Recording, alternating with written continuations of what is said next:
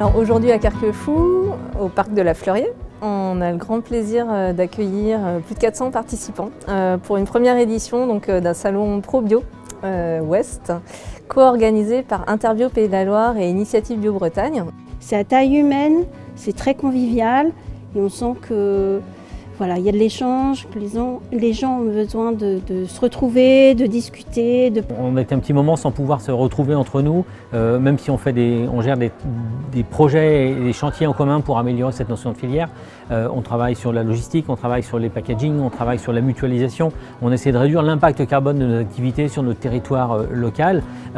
Et, et, le fait de se retrouver aujourd'hui, c'est quand même très appréciable de renouer ces liens-là un peu, un peu perdus, un peu érodés. Alors c'est nécessaire parce que c'est euh, déjà ça démontre un ancrage au niveau du territoire, alors du Grand Ouest aujourd'hui, Bretagne et Pays de la Loire, euh, porté par euh, des initiatives comme B-Raise aussi, qui est bien présent aujourd'hui sur le salon. C'est essentiel en fait de partager non seulement avec les futurs clients mais aussi avec les partenaires ou avec d'autres acteurs de la bio.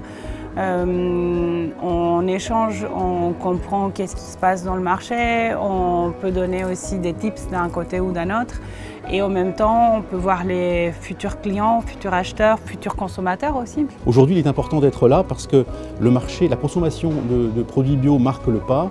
Et il est, à mes yeux, important d'aller à la rencontre et à l'écoute de nos clients ou de futurs clients pour euh, comprendre leurs besoins, leurs besoins aujourd'hui, leurs besoins de demain, les tendances de consommation.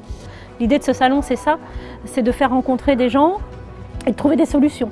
Euh, peut-être que c'est quelquefois difficile euh, pour un producteur de livrer en direct tel et tel endroit, et, peut-être que c'est plus facile pour nous, euh, distributeurs, qui pouvons massifier et qui pouvons proposer bah, des carottes, des pâtes, des céréales, des légumineuses, et tout ça, ça peut se livrer au même moment, au même endroit. il y a à la fois des nouveaux acteurs, des nouveaux opérateurs qui interviennent sur la filière fruits et légumes, donc c'est intéressant de les rencontrer pour échanger et de voir aussi quelles sont les dynamiques de développement et quels sont les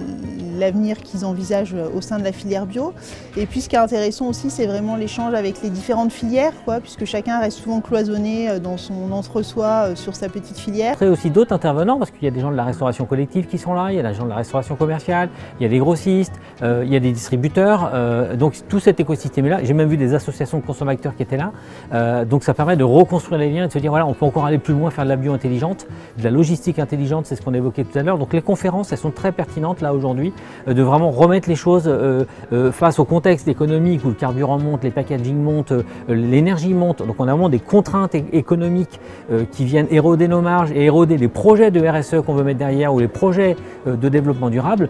Donc plus on a de la souplesse de marge économique, plus on peut mener des projets intelligents pour la, planète et la collectivité. Donc là aujourd'hui c'était l'environnement idéal pour relancer cette dynamique. En une journée, là du coup la possibilité de ce salon c'est de pouvoir voir presque l'intégralité, on va dire, de, l'offre euh, nigérienne et, bretonne. Donc, euh, on se dit qu'on a eu raison de, mener ce salon euh, aujourd'hui et qu'on pourra le poursuivre dans les années futures.